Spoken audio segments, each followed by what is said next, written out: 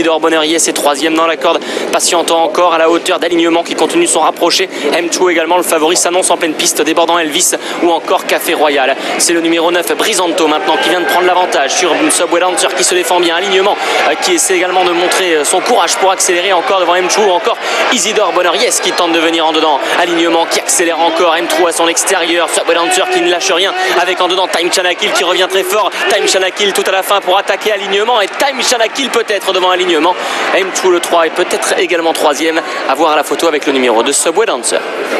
Et la victoire de haute lutte côté corde pour le numéro 5, Time Chanakil, monté par euh, Christiane Desmureaux, dépend du numéro 6, alignement. C'est mieux quand même en bon terrain, alignement. Le favori, le numéro 3, True, est troisième à, à l'extérieur, 5, 6 et 3 pour l'arrivée de, de cette euh, compétition.